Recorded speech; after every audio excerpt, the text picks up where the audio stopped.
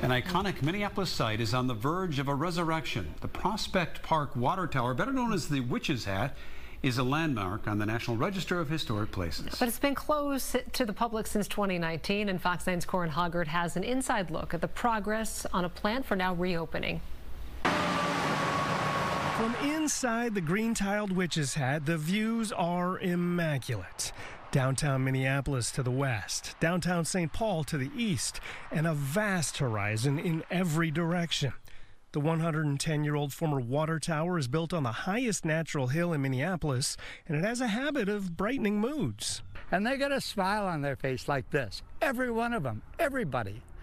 And uh, that's fun watching. Uh, Legend has it Bob Dylan wrote all along the watchtower here in the 1960s, but there's been no reason to get excited for the last four years. The tower had about 8,000 visitors during the two day 2019 Open Doors Minneapolis event, but one of the 117 steps gave way. Two locks and a little graffiti now greet people at the entrance at the top of the hill. But neighbors say they've been through this before, and this is not their fate. This is a symbol of the neighborhood. I mean, it is simple as that. Members of the Friends of Tower Hill Park group say there must be some kind of way out of here.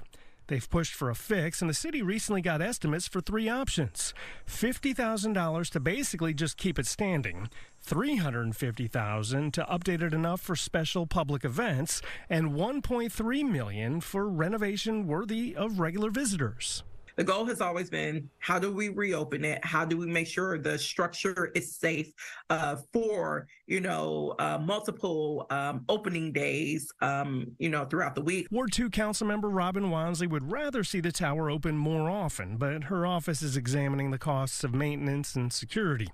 Neighbors say there will be no shortage of people offering free labor. If they get the funds to open it up, uh, I'm sure we can get the volunteers. Within weeks, city staffers plan to have an agreement with the neighborhood group on how to divide responsibilities. A timeline for repairs is further down the road, but surely close enough to see from the top of the tower. Corin Hoggard, Fox 9.